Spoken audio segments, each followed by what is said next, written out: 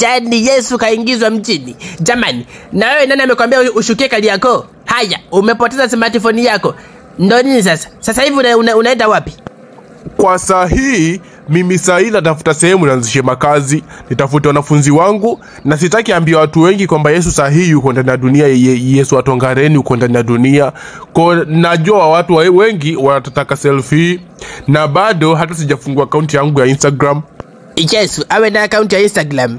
Ndiyo, labda nikurudishe nyuma kidogo. Kipindi kile niko Nazareti nilikuanga natumia simu lakini kwa, kwa, kwa, kwa kificho ili watu wasije wakaniona, kwani kama unakumbuka siku najaribiwa na nyoka shetani ule kule mlimani, mimi ndo nilipost kwa akaunti yangu feki. Naona kama unanitia njaa tu. Eh, kwanza unaelekea wapi? Maana dunia dunia leo sijui imekumbwa na, na kitu gani, sijui imekumbwa na balaa gani. Huyu naye kaja na mapya. Haya, asante, nimekuelewa. Ka, kahubiri Injili, Mungu akusimamie. Waliokuingiza mjini walaaniwe. Amina. Rafiki yangu, kwa muda tulioachana, nadhani kabisa bangi itakuwa imeisha kichwani. Vipi, unajisikiaje sasa hivi? Ah, mbona mimi niko poa? Eh, fadhali Mungu ni mwema. Ehe, unakumbuka ulicho ulicho ulichokona una, una, unasema kuhusu ma, mafungo funguo yako? Nakumbuka kila kitu kuhusu funguo zangu ambazo nazo ndani za kiroho. Aha, mzigo bado mbichi. Sijui walivuta bangi aina gani mpya mpya. Haya bana, nimeku eh, jamani, nimekuja hapa nikwambieje, nimekutana na aliyekupa funguo. Kwani wewe aliyekuletea funguo alikuwa mweupe mweusi? Ni mweupe.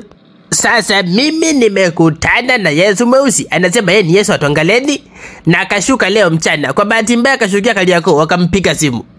Au itakuwa ndo huyo huyo kajibadilisha tu. Uju, ujue nini, alivyoletea funguo hakuwa na furaha, au ndo huo huo muda akataka kuibiwa simu kali yako.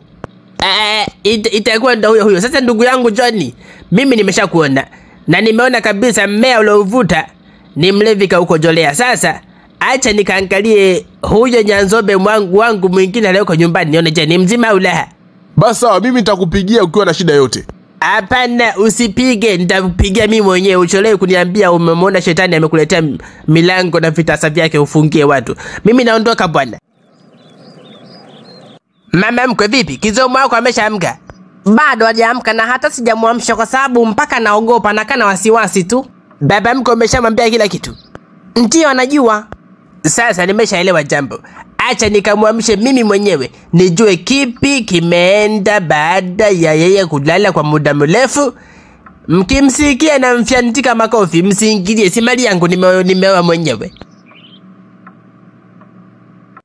Mke wangu unaendeleaje? Mimi niko poa. Asante Mungu.